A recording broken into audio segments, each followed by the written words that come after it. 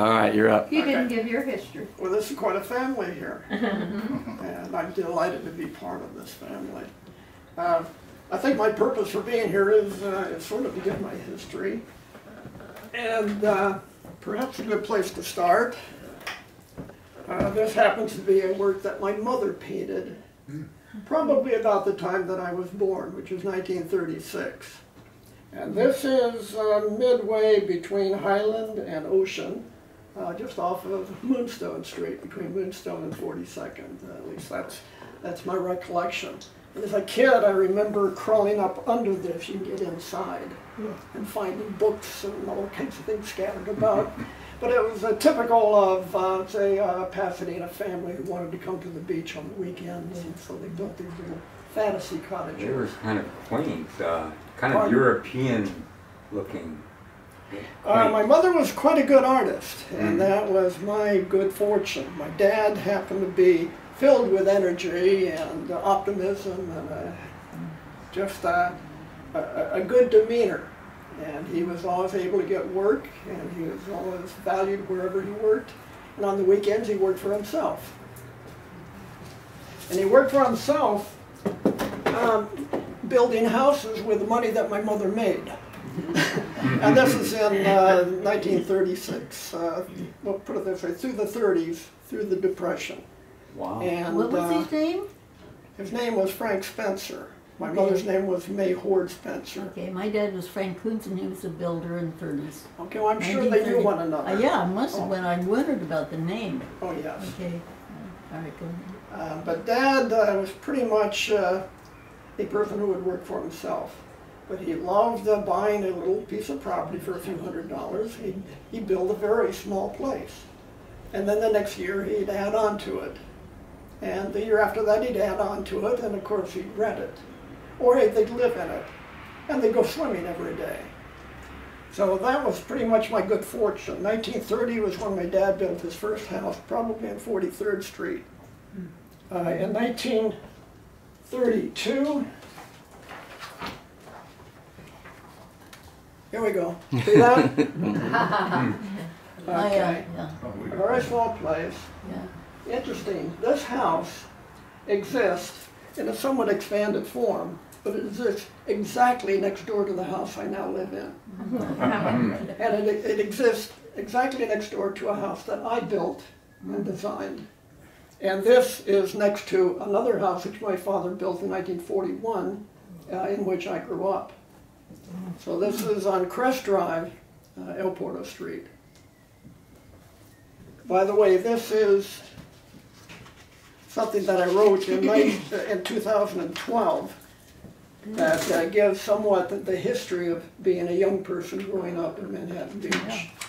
And I have left a copy here with the Historic Society, uh, but I have it on my computer, wonderful device. I, I, I just love technology and I love what the world has become in many ways. Uh, we can discuss perhaps how it has changed in some negative fashion, but it's still pretty darn good. And Don, much of that is in here. Yes, We're going to publish your essay in the newsletter Hmm. uh, probably later this year. So. Okay, very good. Uh, also, I might mention this is a, a work that I uh, wrote in 2005. And this is more a history of El Porto, as I recall, growing up there and has, uh, as it uh, evolved through the years, Yeah. so beyond my uh, uh, high school years. Uh, this too is on the computer, and if any of you want to give me your email address, I could send them to you quite easily. But I'm not going to print them all up. No. In uh, 2005, the Easy Reader uh, also published the, uh, the earlier work about El Porto. Uh, by the way, one of the problems, uh, you're, you all know Harvey Washbangers and the wash Mhm. tub. They're different places, aren't they? One is right next to the other, and they were in competition. Well, somehow uh, Kevin Cody assigned the job of writing this out, and out of nowhere, when I wrote the wash tub was such and such, whoever did the editing put in parentheses Harvey Washbangers behind it. And so I was reading through this, and everything was pretty good until I came to that, and then I screamed.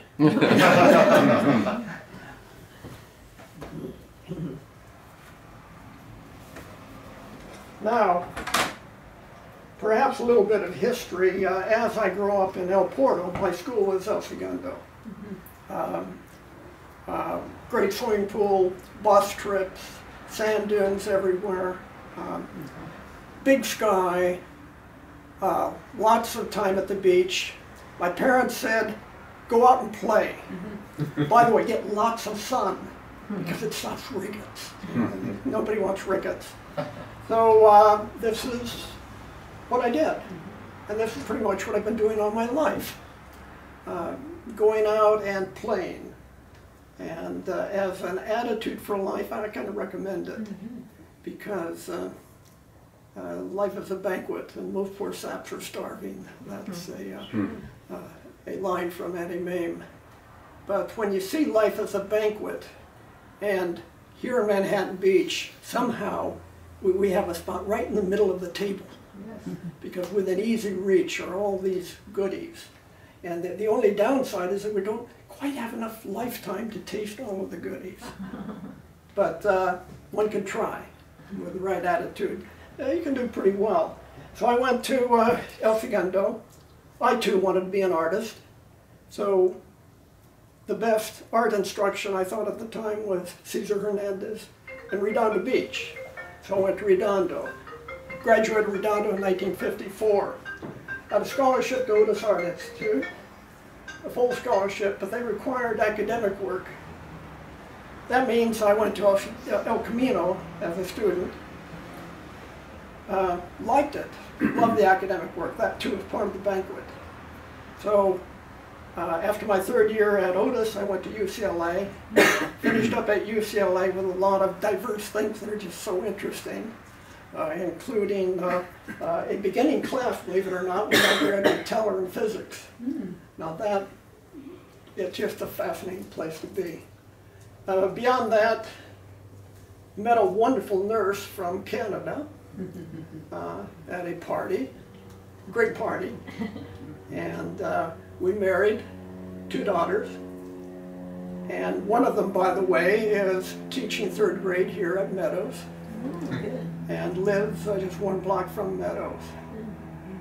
Uh, after uh, UCLA, I worked for an art service, uh, did some uh, book illustration, uh, went out did a lot of painting, got a job at El Camino, taught at El Camino for 10 years in the art department. And uh, in the meantime, let's see what we have here. The little house that we bought uh, on uh, 18th Street, just off of Rowell, was small enough that uh, on that lot I could build a 42-foot sailboat. Now, art is uh, the, the, uh, the expression of values, and the value of having a family and having the adventure, the window of opportunity, uh, that, that blank canvas of time, um, seemed to be well filled if indeed I could get my family on something like this and go sailing. So the four years that I did not live in Manhattan Beach were spent sailing, excuse me, and living uh, aboard with my wife, both at King Harbor and sailing to places like uh, Mexico and the Hawaiian Islands. and the kids went to school uh, one semester in Hawaii. So terrific adventure. Uh, once back from Hawaii, decided to uh, do a lot of painting, and uh, this type of watercolor style is the kind of style that one can uh, carry everything on a bicycle, ride to a great location, sit down, uh, probably about three or four hours, uh, end up with a painting. And this was done by sitting on top of my car, literally. Uh, I had a Volkswagen Squareback with a uh, rack on the top, so I could put a chair up there, and it gave me a great view. And I got to meet my neighbors. So that, where is that? Rosecrans and Highland? Yes, well, no, this is. That's the old house. Boulevard Oh, it's and in Highland Avenue. Yeah, That's that's, a market. that's Al That's Golden's the clothing store there on the corner. Mhm. Yeah. Standard What? station. That's the And the The one. gas station station. on Yeah. the Gas corner, station, and That's then- the the and then clothing store Lamar. and then Lamar. Yeah. Mhm. Yeah. So you're, okay, you're, you're like by the kettle somewhere. Yeah, Yeah. right there on Yes. the, Yeah. where those people Yeah. are crossing the Right, street. yeah. That BW's in front of the kettle. Now, what year do you think? Uh, this is nineteen eighty, The gas station was there originally back in the twenties, yes. That's the And there was one where the kettle was too, Yeah, yeah, across the street. but that was later. Yeah. Yeah, But, uh, Anybody know when the kettle was built? When the kettle? yeah, uh, early Yeah. seventies. Yeah. Wow. Um, Which were the Either years the of the gas B station nineties? or Oh, I first. love that. Oh, I missed that. Uh, I do too. Everybody misses that place. Yeah, that was wonderful. different. That was so I like good. going in in, in the balloon man. What I found was a On Sunday broker. nights. Probably Blue because Band. The house would sell for thirty thousand and like Al Wilson Realty, he'd go, I just closed a big deal on buying drinks at the Bay ninety, so all the local realtors would go over about four in the afternoon. I think I was in eighth grade then, and they had the balloon man that come in on Fridays. Yeah, And they had signs that came down. Yeah. They had I remember one fell in my drink. It was like, That's annoying. I, I thought I'd pass around a few of, uh, I, I didn't take many photographs of my paintings, but uh, all of these are Manhattan Beach scenes, so if you want to pass those around. And I did a lot of uh, drawings. Here you go, see that? Wow. Yeah. Sketches. There's a lot of pretty done. You can pass those around. Oh, thank you. Uh, Literally, right. Very good, yeah. Those are good. Don, I have to ask a question. Yes, Steve. We all know it's difficult for a commercial, ar- I mean, a, a artist to make a living. Uh, did you have a gallery or uh, have a favorite gallery that uh, was very I had my own gallery on Manhattan Beach Boulevard uh, at the same time that I was teaching at El Camino. Mhm. And uh, I'm very fortunate, very fortunate indeed, in that my parents had built a number of items in town. And so I'm a jack of all trades. My father's a contractor, I knew how to build things, Mhm. I knew how to fix things. And so we eventually evolved into a kind of family uh, activity, maintaining property, building. Mhm. Uh, I built commercial here, I added onto my own house. I usually did my own work, my own designs. And uh, so as a consequence, I had a lot of options that many people do not have. So I had access to commercial property that my folks had built. My dad built the first store down there on Manhattan Beach Boulevard in uh, 19 1939, I believe. Mm Mhm. So when you develop property, So when I developed property, I could use it. And later on, when I uh, rented that property, I could rent it in a fashion that allowed me to show my work. Like Sharon Polkinghorn, for instance. oh, great. So Sharon uh, had a, a, a better rent than most would have, but I had access to a number of walls in her store. So I could be out painting and have my, my paintings on display. Oh, great. And then, of course, I, I did the very first uh, Old Hometown Fair and the very first Fiesta of uh, Wall of Arts Mhm. in Hermosa Beach. So um, well, what store are you talking about? uh, that would be 316 Manhattan Beach Boulevard originally. And Sharon Polkinghorn was in 320 for a while. And then The then, Wahlberg Market used to be downtown. Wahlberg, uh, I don't during the twenties. Okay, you're, you're, you're going back away. You're, you're 16, you're 16 years older than I am. I'm with you, I don't know what, where this is. And uh, for the Historic Society, I had an oppor- I had a good friend uh, in Redondo Beach who was precocious, and he got his pilot's license when he was a high schooler. But the year after we graduated, he took me up, and uh, we flew over Manhattan Beach, over the South Bay, and uh, I took a number of photographs. Uh, and I, I love the computer so that I can scan those slides and uh, get fairly good resolution, not perfect. But here are some shots of Manhattan Beach, or parts of Manhattan Beach.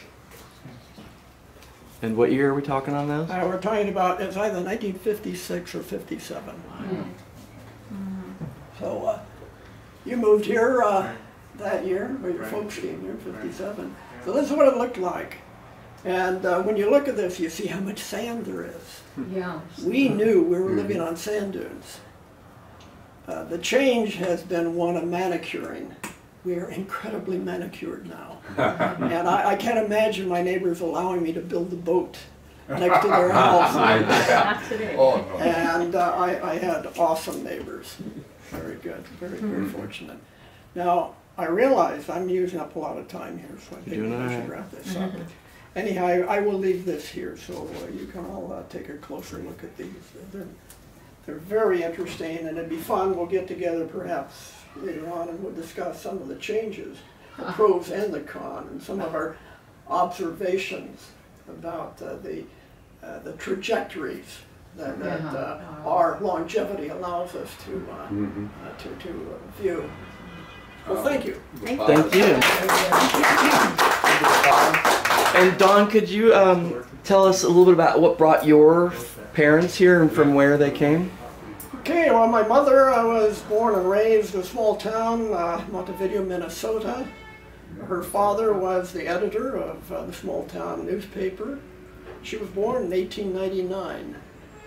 Uh, You remember had a the great name of the talent for town? I'm sorry. pardon? You remember the name of the town? Montevideo, Minnesota. Okay.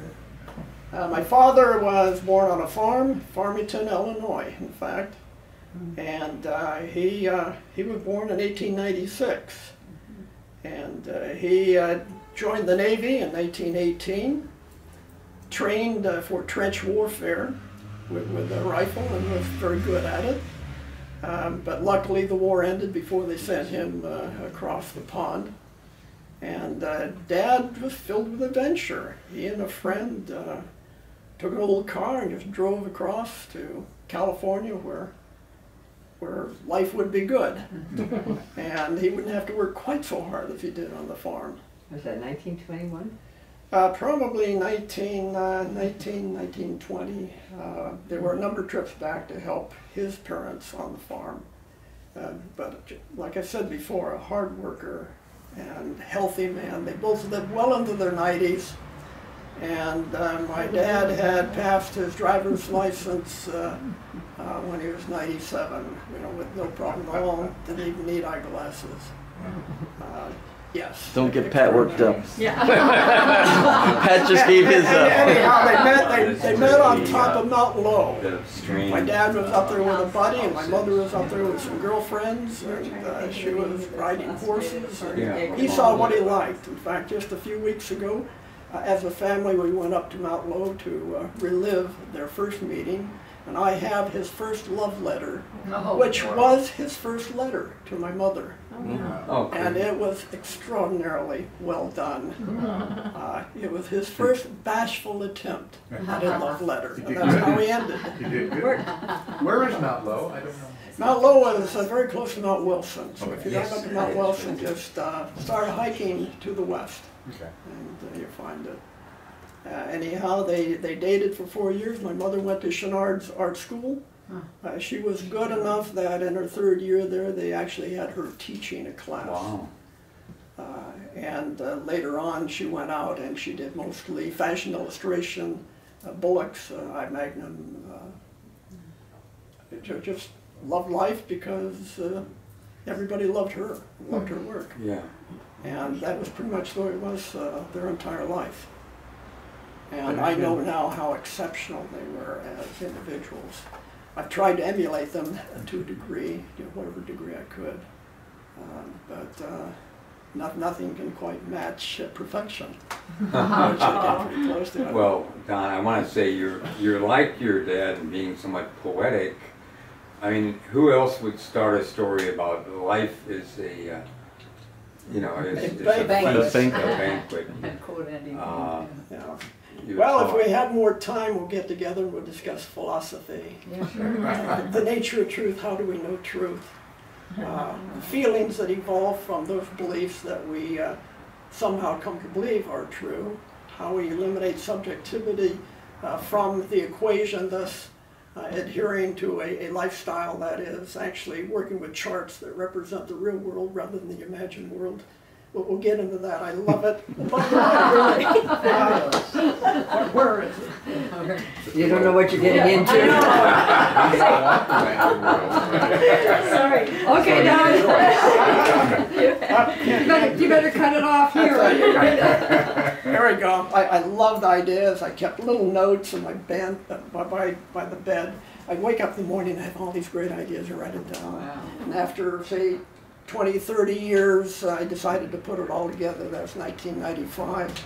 And I self-published a book, uh, illustrated it, but I'm not a good salesman. I don't like selling. So it just helped clarify my mind, uh, you know, these, some of the basics. So, yes, we'll get together sometime and do that, Any other questions? by the way. Is that you? My daughter who is teaching at Meadows, That's but that was taken in Canada. Yeah. My brother-in-law happened to love boats too. and, uh, uh, Luckily, I married a, a lady who uh, had some of that adventure too, well, so we had a good time. Thank you. All right, Thank thank you. you. Thank you.